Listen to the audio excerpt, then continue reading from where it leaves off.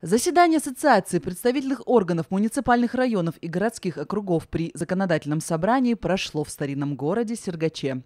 Выездные заседания проводятся в районах области с 2002 года. Так можно обсудить актуальные вопросы, обменяться опытом и выработать общую позицию по внесению изменений в действующее законодательство. Мы обсудили как развивается Нижегородская область, какие направления являются приоритетными.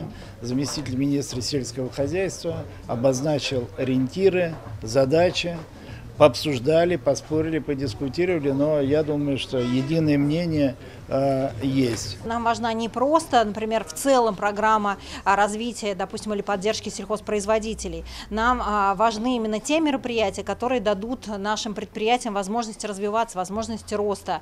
Э, средств всегда не бывает достаточно, но определить приоритеты, определить то, чего не хватает, сосредоточить на этом совместные усилия и законодательной и представительной власти и исполнительной. Вот, наверное, это главная задача, которую решает ассоциация. Перед заседанием ассоциации участники мероприятия посетили два предприятия – Сергачский сахарный завод и Ягодный сад ООО «Рассвет». Здесь используются самые современные технологии и новейшие разработки сельскохозяйственной техники и оборудования. Это особые предприятия. Почему? Потому что буквально пять лет назад э, была большая проблема здесь в Сергаче. Э, сахарный завод готов был остановиться навсегда и э, риск был очень большой. И сегодня, конечно, я рад о том, что не только завод сохранили, и завод, конечно, модернизировали, реконструировали.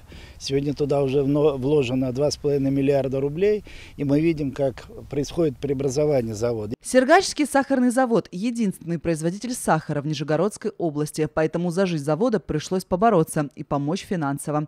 Инвестор, подаривший заводу вторую жизнь, решил развить ягодное садоводство. Здесь Здесь выращиваются уникальные сорта ягод. Заложен крупнейший в Европе сад жимолости, второй по площади в России сад спаржи. Производственная мощь сортировочных линий 25 тонн в сутки. Ягодная 8 тонн в сутки, спаржевая. На полях оборудованы артезианские скважины. Ежегодно сезонные работы и сбор привлекают более 200 работников. Виды поддержки разные. И на закладку новых садов, на поддержку, на раскорчевку, на мелиорацию, на внесение удобрений, на поддержку молодых специалистов, которые сюда приходят работать после окончания средних и высших э, специализированных учреждений.